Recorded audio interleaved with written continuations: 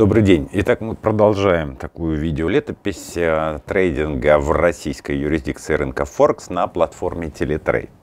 А, за последний месяц все, буквально все предположения оказались верными и принесли э, прибыль. Это евро против австралийца, это евро против доллара, э, франк против доллара. Но на одном мы очень серьезно споткнулись, потому что курс фунта стерлингов против доллара очень разнонаправленную динамику показывает. И, к сожалению, в целом, вот мы видим это на графике, а, в общем-то снижается. Потому что вот неясность вокруг э, процедуры выхода Британии из еврозоны, дебаты, которые состоялись в парламенте, многочисленные, естественно, британском, многочисленные споры, они все-таки не ведут к тому, чтобы у фунта возникла какая-то определенность. В результате мы спустили примерно две трети нашего успеха. Сегодня, как вы видите, прибыль э, гораздо меньше, чем была на максимуме. Мы доходили до 19%. Но что делать в этой ситуации? Э, я по-прежнему, закрыв все остальные прибыльные сделки, держу целый ряд позиций по фунту, рост фунта против доллара. Я надеюсь, что на этой неделе я все-таки возьму реванш за поражение на этом участке нашего фронта. Это правда? Что? Ну, не знаю, как сказать, но, в общем, ну, говорят, будто бы, значит, э, вы объявили войну Англии. А в целом ситуация, которая влияет на валютный рынок, такова. Рецессии в Европе, о которой много писали, рассуждали аналитики и прогнозировали некоторые эксперты, все-таки стала явью. И, судя по всему, основное тут зависит от поведения немецкой экономики. Индекс DAX, что называется, ниже плинтуса, то есть в этом году он однозначно отрицательный.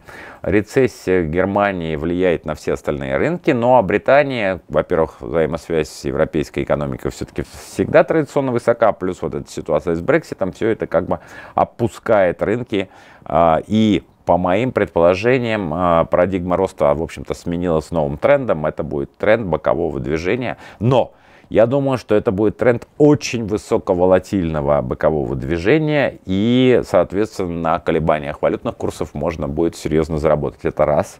И второе, что важно, это состояние евро. Судя по всему, а, Европейский Центробанк намерен минимизировать эмиссию и в купе с рецессией, мне кажется, это может серьезно подтолкнуть евро наверх. Поэтому накануне понедельника, в ночь с воскресенья на понедельник, я к позициям открытым по фунту, по которым я э, надеюсь, что называется, отыграться, взять реванш за предыдущие минусы именно по этому направлению. Вот к этим позициям я добавляю позицию покупка евро против доллара США. Я надеюсь, что американская экономика не последует полностью в своем движении за европейской, хотя там тоже падение фондового рынка достаточно серьезное. И с учетом заявлений ФРС и более благоприятного положения, доллар будет снижаться. И, пожалуй, исходя из того же предположения, я все-таки открою позицию на продажу американского доллара против швейцарского франка. Мне кажется, это то э, сейчас статус-кво, который есть на рынке, свидетельствует о том, что доллар начнет снижаться по отношению к франку.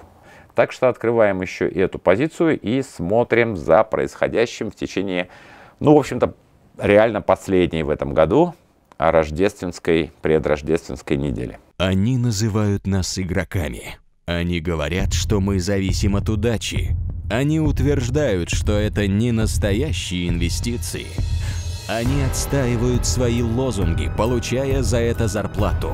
Мы получаем прибыль только когда проверяем свои убеждения рынком. Они дают прогнозы, ничем не рискуя. Мы отвечаем на деле за каждое свое слово. Они зависят от своих хозяев. Мы сами становимся хозяевами своей жизни. Мы добиваемся своего, зарабатывая своим умом, наблюдая мир и понимая законы движения на мировых финансовых рынках. Мы торгуем валютой, которой вы расплачиваетесь в магазинах. Мы торгуем компаниями, в которых вы работаете. Мы торгуем золотом, которое блестит на ваших часах. В то время как вы боитесь неудач, мы учимся на своих ошибках. Поднимаемся после падений и покоряем новые вершины. Мы не боимся потерь, мы не боимся говорить о наших потерях. Мы встаем на ноги после наших потерь, и мы становимся сильнее. Дисциплина и самоконтроль – наши партнеры. Точный расчет и холодный разум – наши спутники. Мы те, кем вы можете стать. Мы – трейдеры.